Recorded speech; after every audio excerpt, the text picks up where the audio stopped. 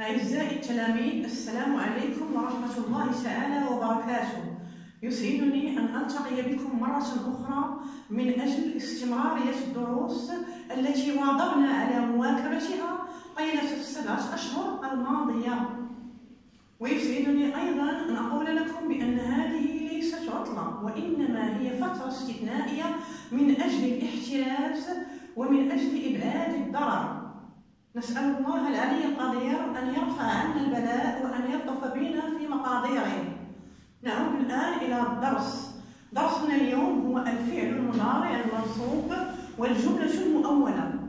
وهذا الدرس كنا قد رأيناه في الأسبوع الماضي بحيث ارتأيت أن بعض التلاميذ لم يتمكنوا من استيعابه آه، بكامله.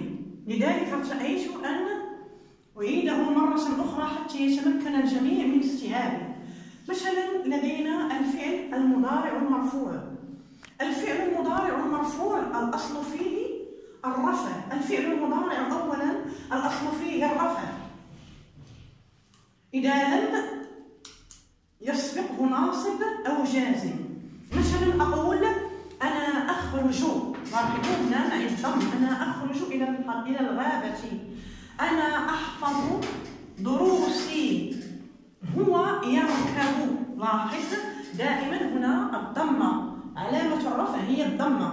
مثلا عندنا هنا ترسمان هذا الفعل مرفوع بثبوت النون لأنه من الأفعال الخمسة.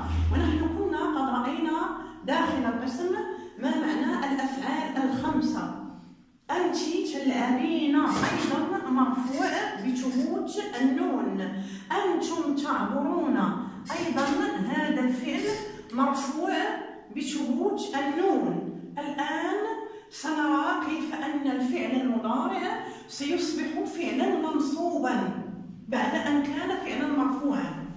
الفعل المضارع المنصوب الفعل المضارع تتغير حركة آخر حرف فيه إذا سبق بأحد حروف النصب.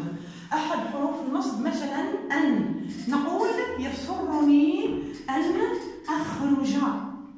يسعدني أن أحفظ. إذا فحركة الحرف الأخير تغيرت بعد أن سبق هذا الفعل بحرف نصب. نقول مثلا هنا في آه، أسرع كي أركب. أسرع كي أركب. هنا نقول يسرني أن ترسما. لاحظوا معي جيدا هنا حذفت النون لأن الفعل المضارع أو أحد الأفعال الخمسة ترفع بثبوت النون وتنصب بحذفها كما كنا نرى دائما داخل القسم. أنتما ترسما آه يسرني أن ترسما. أيضا يعجبني أن تلعبي حذفت هنا النون. حذفت النون في أن تلعبي أيضا في الجملة الثالثة أو التالية أسرعوا كي تعبروا. أيضا هذا الفعل نصب بحذف النون لأنه من الأفعال الخمسة. انتبهوا جيدا إذا لاحظتم الفرق بين الفعل المضارع المرفوع والفعل المضارع المنصوب. وأيضا اليوم سنتعرف على المصدر المؤول. يمكن استخلاص المصدر المؤول بسهولة من المضارع المنصوب أي من أن والفعل. نقول المصدر المؤول من أن والفعل. مثلا يسرني أن أخرج تصبح الخروج يسرني الخروج يسعدني أن أحفظ يسعدني حفظ يسعدني حفظ مثلا أسرع أسرع كي أركب أسرع لي لركوبي هذا هو المصدر الأول أي أننا نحول الفعل المضارع إلى اسم. أسرع لركوب الدراجة. يسرني أن ترسم. هنا بمعنى بما أن الفعل مصرف في ضمير أنتما فإني سأضيف كاف الخطاب إلى المصدر المؤول رسمكما. يسرني رسمكما. يعجبني أن تلعبي يعجب بما أن أيضا الفعل موجه إلى المخاطبة فلذلك سأضيف كاف الخطاب. يسعدني لعبك يسعدني لعبك أيضا هنا نقول أسرعوا كي تعبروا الشارع.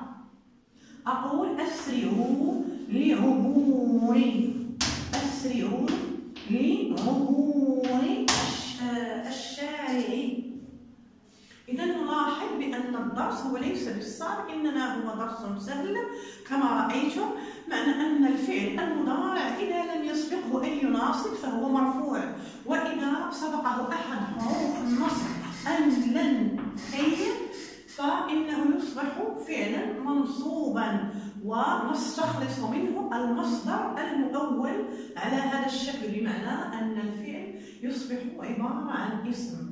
نستنتج إذا القاعدة. هنا الأصل في الفعل المضارع هو الرفع. الأصل في الفعل المضارع هو الرفع. بمعنى أن الفعل المضارع دائما مرفوع. الرفع ينصب الفعل المضارع إذا سبقته أداة من أدوات النصب. يصاغ المصدر المؤول من أن والفعل أو من كي والفعل.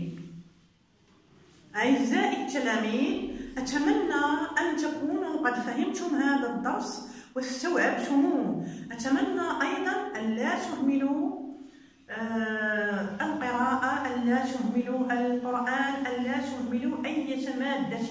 أوصيكم باستعمال الزمن. يجب أن نراجع دروسنا حسب استعمال الزمن بمعنى أختار لكل مادة نصف ساعة حسب حسب مكانتها في استعمال الزمن وأن لا تهملوا دروسكم حتى نعود إلى المدرسة إن شاء الله ونكون لم نضيع أي حصة. مع السلامة.